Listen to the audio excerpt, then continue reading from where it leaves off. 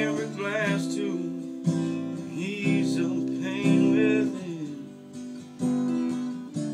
But still I'm feeling.